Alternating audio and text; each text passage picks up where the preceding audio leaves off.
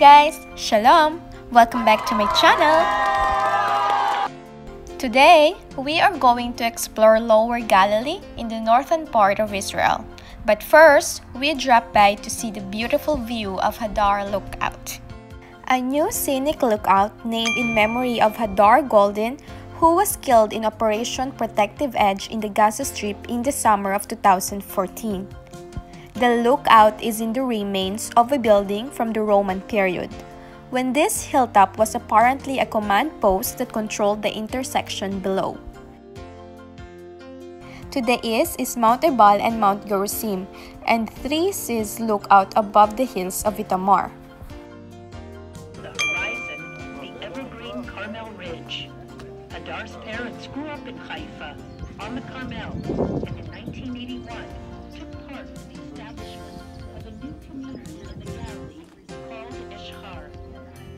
This is a wonderful place to sit among the olive trees, and as Hadar used to say, please come in with a smile.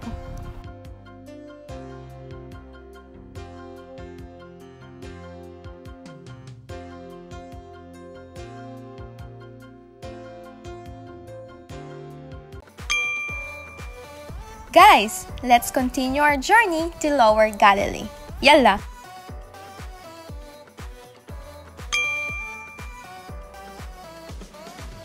finally, we arrive at the Harod stream.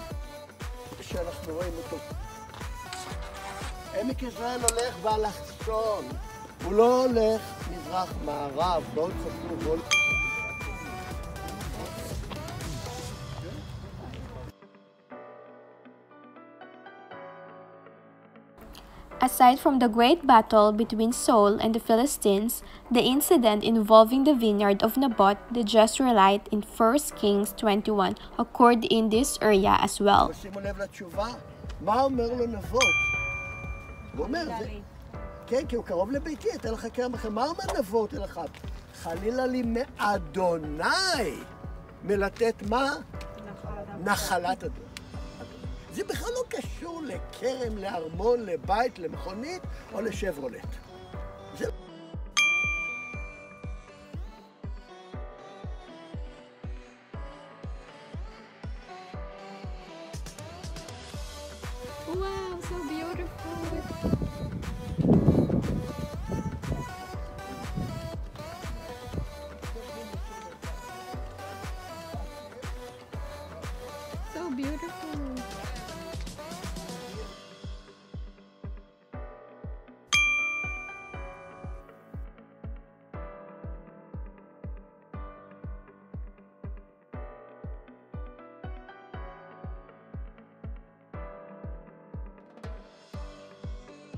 It was at the spring of Harod at the foothills of the Gilboa that Gideon chose the warriors that would help him defeat the Midianites.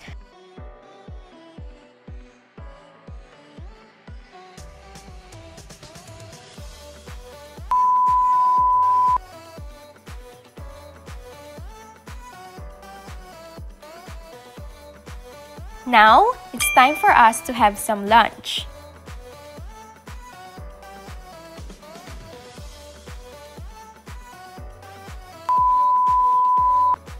Next stop, Mount Arbel. But on our way to Mount Arbel, you can see from afar the Mount Tabor. Mount Tabor isn't named specifically in the Christian Bible, but it is the assumed location of the Transfiguration, where, according to the Gospels, Yeshua took three disciples following a three day walk south from Caesarea Philippi or Banias and miraculously spoke there with the prophets Moses and Elijah.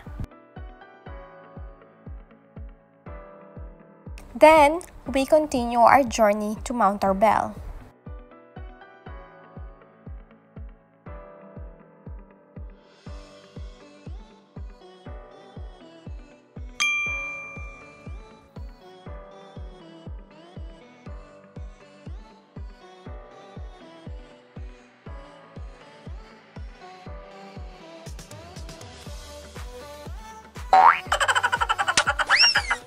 Hello guys, so we are in Mount Arbel. So now I'm gonna show you some painting here.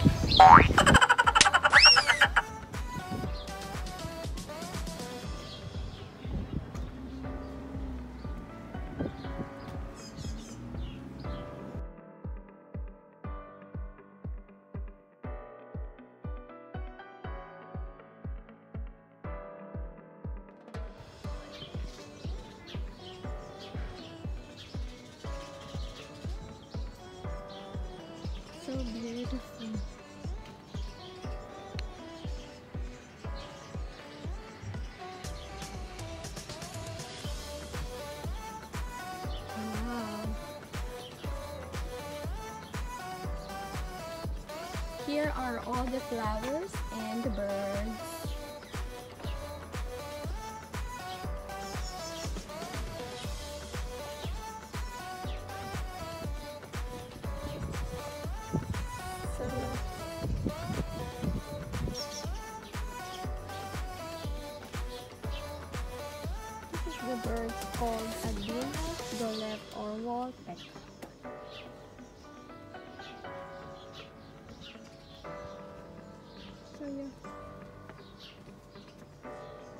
Wow, this is beautiful.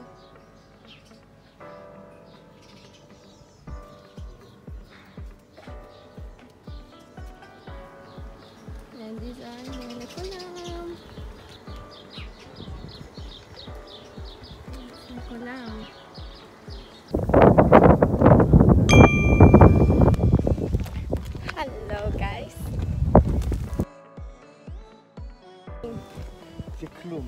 יגיע הרבה יותר גבוה.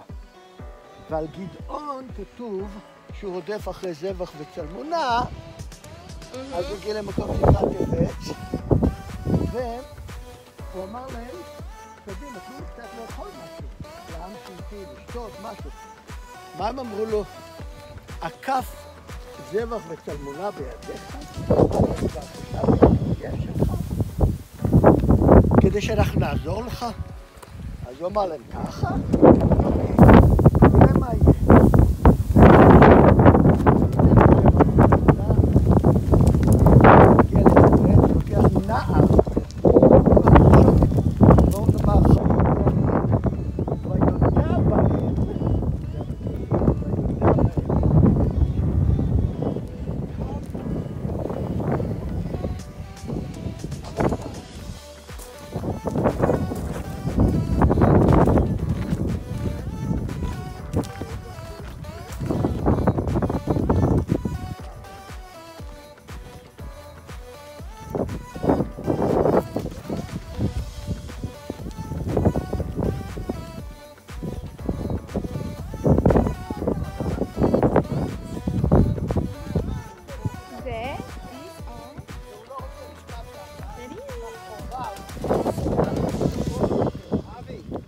ממש ככה.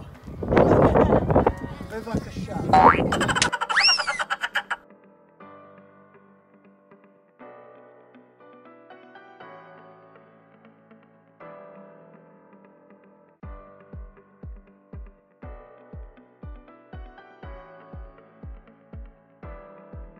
The sheer rock cliffs of Mount Arbel stand like a sentinel over the western side of the Sea of Galilee. Mount Arbel has watched over numerous battles, travelers, and even disciples. No doubt, the best way to enjoy Mount Arbel is from on top of it. Wow! Mount Arbel is one of those places never mentioned in the Bible.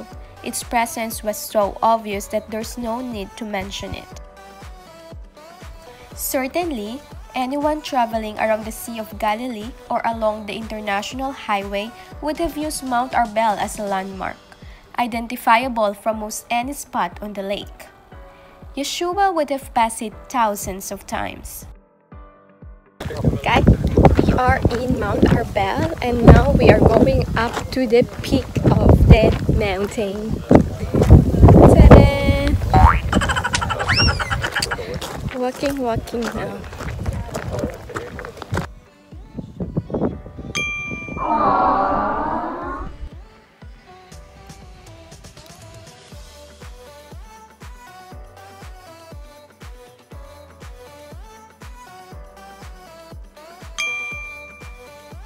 Wow!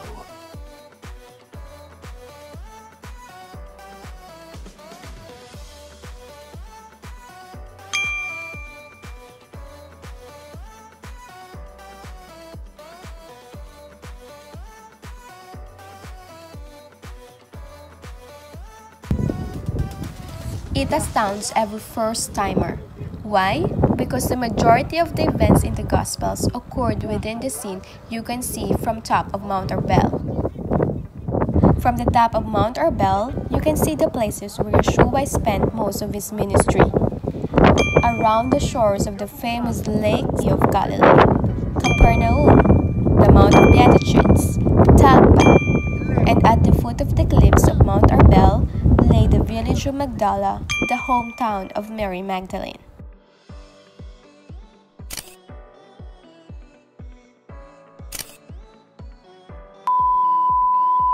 Hi guys, so now we are done touring and we went to Hadar Lookout today. And then also we went to Harod Stream um, Lookout. And then we went to Mount Arbel. And it's just amazing to be there and to see amazing places here in Israel guys. So I hope you enjoy watching. And please do not forget to like subscribe and comment. And share the video guys. Thank you. Bye